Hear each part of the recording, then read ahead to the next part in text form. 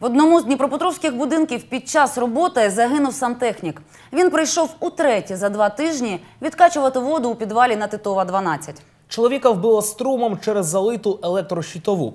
Тепер люди бояться, що черговий потоп у будинку забере ще чиєсь життя.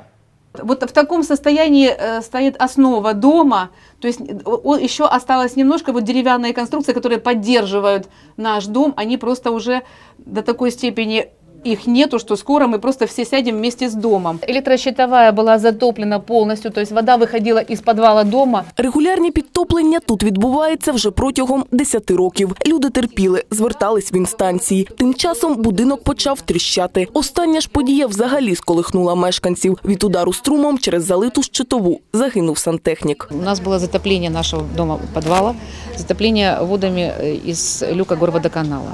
То есть получается, что в наш, наш дом полностью был затоплен э, до выхода воды из, из подвала.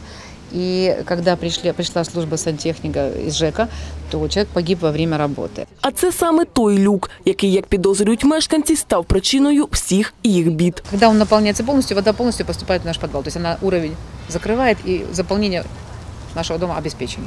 Цьому будинку не пощастило двічі. Його заливає і знизу, і згори. Знизу каналізація, зверху величезні калюжі, що виникають через помилку асфальтоукладників. Коли насипали дорогу, її рівень піднявся значно вище фундаменту п'ятиповерхівки. Я говорю, что же вы делаете? Вы же подняли это с- э, дорогу. А он говорит, бабка, на твой век хватит. И весь ответ я получила. И теперь вследствие этого вас затапливает? Да, подняли, и теперь вот это все затапливает. Після загибелі сантехніка будинок взялась перевіряти купа комісій. Пообіцяли навіть перенести щитову з підвалу. Наразі тут прочистили всі труби і розмірковують про капремонт. На сьогоднішній день э, там повністю откачана вода, полностью локализовано подтопление водоканалом со стороны э, водопроводных сетей.